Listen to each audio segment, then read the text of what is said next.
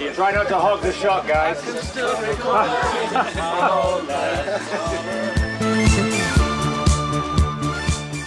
This is probably the most thoroughly brought to you by women, you know, package that I've I've ever been involved with.